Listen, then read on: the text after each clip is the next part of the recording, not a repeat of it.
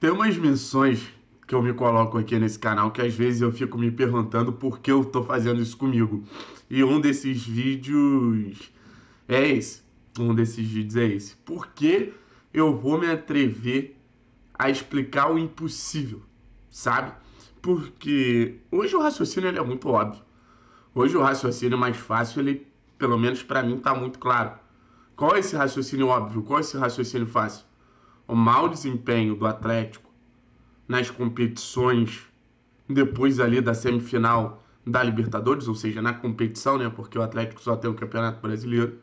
Ele naturalmente influencia e reflete o resultado ou desempenho que o Atlético vai ter dia 29 na final da Libertadores. Muita gente vem acompanhando as partidas ruins do Atlético e vem ficando com muito medo para a decisão do dia 29. E cara, primeiro que eu não tiro a razão, tá? Primeiro eu vou ser bem sincero com vocês, eu não tiro a razão. O Atlético ele vem jogando mal o suficiente para preocupar a sua torcida.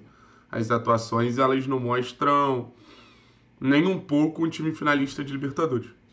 Nem aqueles recortes que a gente fala, ah, o Atlético jogou 15 minutos mais ou menos, o Atlético jogou 20 minutos mais ou menos.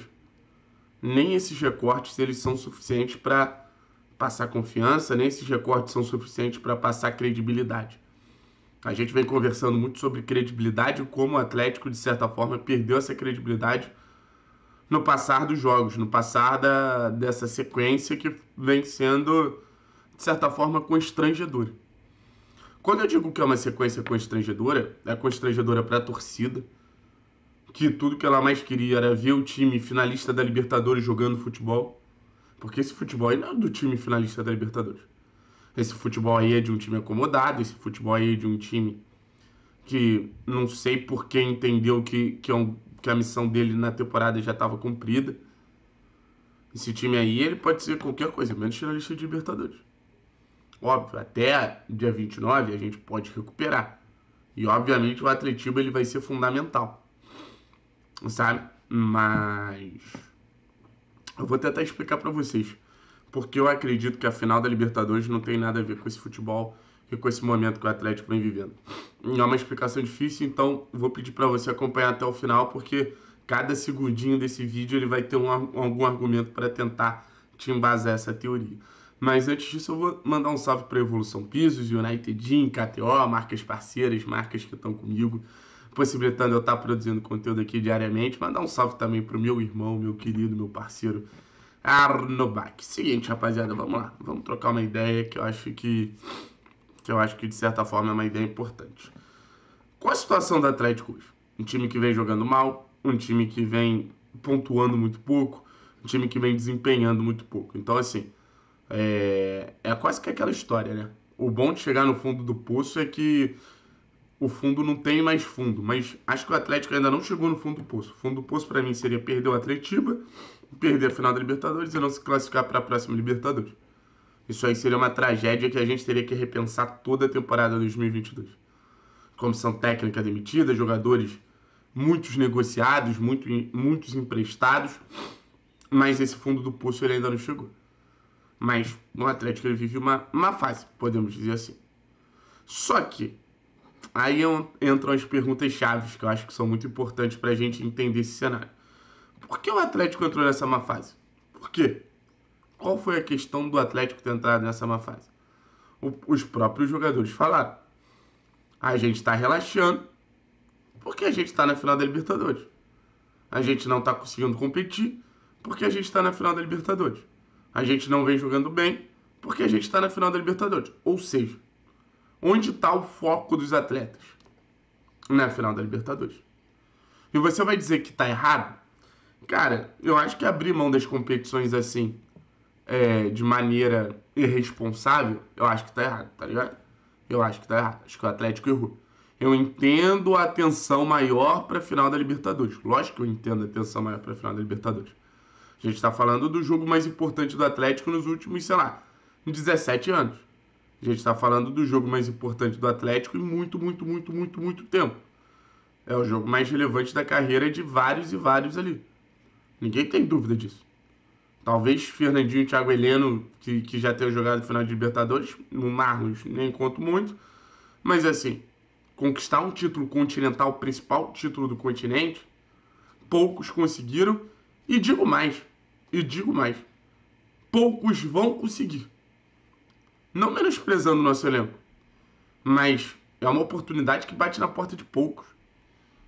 É uma oportunidade que bate na porta de poucos. Então, assim, esse foco é compreensível. É compreensível. Óbvio que, que essa, essa falta de compromisso, essa falta de competitividade dos últimos jogos não é não é algo que a gente tem que se apegar, mas essa, esse foco alterado ele é compreensível. Então, beleza. O Atlético está jogando mal porque está na final da Libertadores e o foco está direcionado à final da Libertadores. Como é o Atlético jogando com foco? Aí a gente precisa reconhecer. O Atlético jogando com foco é um time fortíssimo. O Atlético jogando, deixando a alma ali, é um título fortíssimo. Mas você pode argumentar. Ah, Thiago, mas aqueles jogos que o Atlético acabou se superando e tal, passando dos principais concorrentes da temporada, foram jogos na sorte. Eu não acredito em sorte. No... Quer dizer, eu até acredito em sorte no futebol. Quando uma bola bate na trave, sai, ou seja, falta de sorte. Quando a bola respinga para um jogador e ele, ele acaba botando a bola para dentro. Lances pontuais.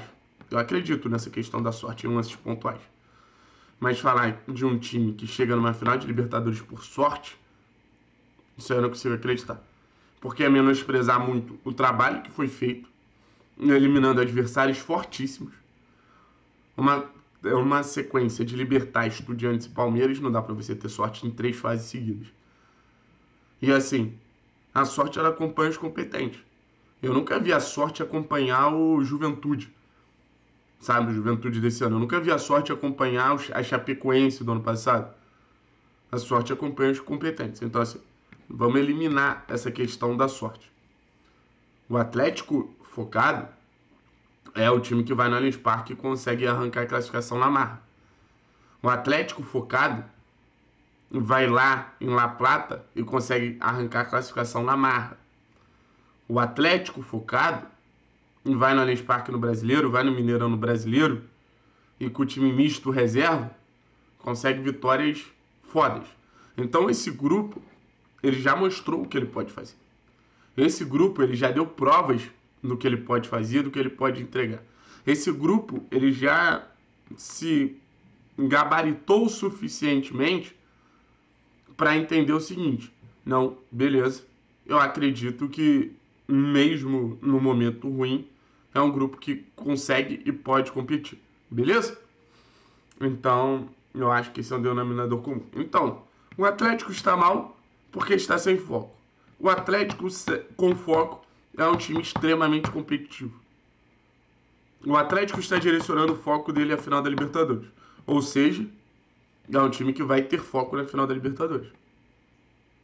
Ou seja, o Atlético vai voltar a ser competitivo. O Atlético vai voltar a ser competitivo. O meu pensamento é esse. Meu pensamento é que dia e noite esses jogadores eles pensam nesse confronto contra o Flamengo. Meu pensamento é que dia e noite essa comissão técnica pensa de uma maneira de ganhar do Flamengo meu pensamento é que dia e noite esse clube pensa como ganhar do Flamengo.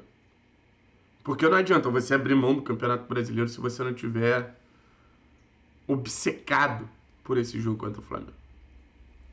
Assim, hoje tem final da Copa do Brasil. Vai ser mais um momento que o Atlético vai estar descansando, que o Atlético vai estar treinando e os jogadores do Flamengo vão estar sendo levados a uma exigência absurda absurda, absurda, absurda. Porque jogar contra esse Corinthians é muito difícil. Jogar contra esse Corinthians é muito complicado, sabe? É muito complicado.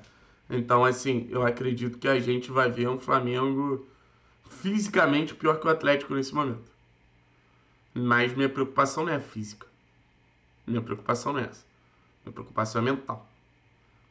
Que esse tempo esteja sendo, pelo menos, direcionado ao jogo mais importante da vida de cada atleticano. Porque é o maior jogo, assim como em 2005, mas eu acho que a gente entra com muito mais chance que em 2005. Então, assim, nesse momento, eu consigo afirmar. A final é a final e a final e nada mais. O Campeonato Brasileiro é outra missão que os caras precisam se dedicar tanto quanto. Mas a final é a final E nada mais. Isso aí eu posso garantir para vocês. Valeu, rapaziada? Tamo junto. É nóis. Quero saber a opinião de vocês. Comenta aqui embaixo.